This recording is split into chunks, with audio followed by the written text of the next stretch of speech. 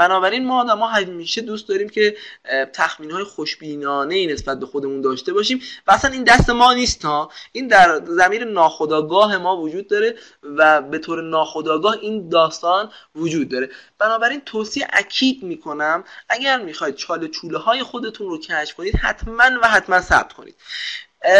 یه چیز دیگه هم که در این ثبت هفتگی وجود داره که خیلی به درد نزدیک های کنکورتون و دوران جنبندی می‌خوره این هستش که نگاه کنید تو این جدول اگه یادتون باشه من اومدم بهتون گفتم که ساختمان داده فصل یک و دو خوندنش 12 ساعت طول می‌کشه. خب اینو از کجا ما قراره بفهمیم؟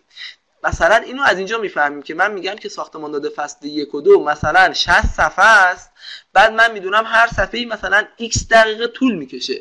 بعد 60 ضرب در x می‌کنم 12 ساعت مثلا به درس میاد.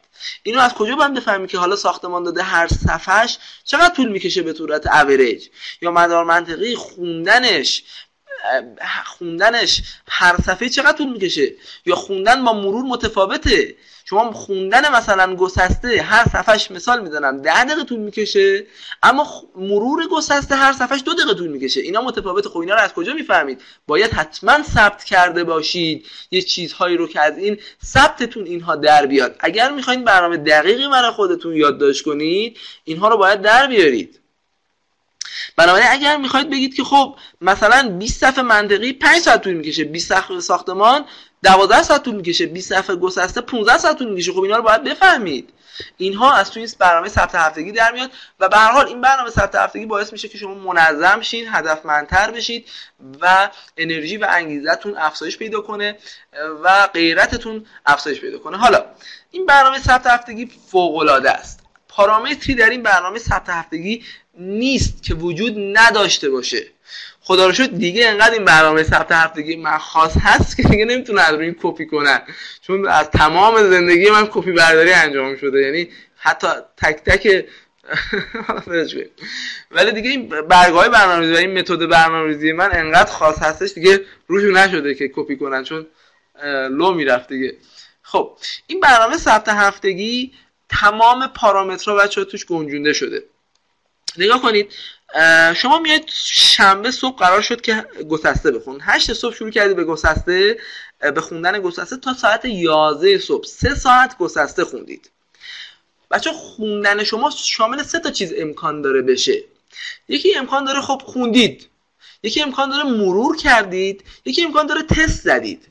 نکنید این خی که اینجا دارید می‌بینید اول خواندن این اول مروره ته اول تست زدن هستش. از این سه ساعتی که شما مطالعه داشتید برای گسسته یک ساعت و نیمشو خوندید توی جلوی خوندن می‌رسید یک ساعت و نیم. نیم ساعتشو مرور کردید می‌رسید سی دقیقه. یک ساعتشو تست زدید. نکنید تست بچه دو تا سطره. سطر اول. زمان تست اگه یه ساعت تست دادید می‌رسید یک. سطر دوم تعداد تستیه که تو اون زمان زدید. نکنید بچه تو یه ساعت گسسته 14 تا تست زدید. خب پس شما می‌فهمید که هر تست گسسته رو تو چند دقیقه می‌زنید. اگه این برای الان ساختمان داده بود شاید مثلا بود یه ساعت تست زدید مثلا 5 تا 10 تا تست ساختمان زدید. خب اینها خیلی کمک می‌کنه به اینکه شما برنامه‌ریزی دقیقی انجام بدید نه رویا پردازی کنید. چون متاسفانه دانشجوهای ما و دانش آموزهای ما میان رویا پردازی می‌کنن. من این هفته فصل یک دو تا پنج ساختمان رو می‌خونم فصل نمی‌دونم سه و چهار و پنج شیش گسسته رو می‌خونم رو هوا. بدون هیچ تخمینی. در صورتی که وقتی این اطلاعات رو داشته باشید می‌تونید خیلی دقیق برای خودتون برنامه‌ریزی انجام بدید. خب پس ساعت 8 تا 11 سه ساعت درس خونده بودید این به این ترتیب یه ساعتش رو تست زدید که تون یه ساعت 14 تا تست زدید. بعد رفتید استراحت کردید دو ساعت استراحت کردید که خب خیلی زیاد هستش. یه نکته هم بهتون بگم.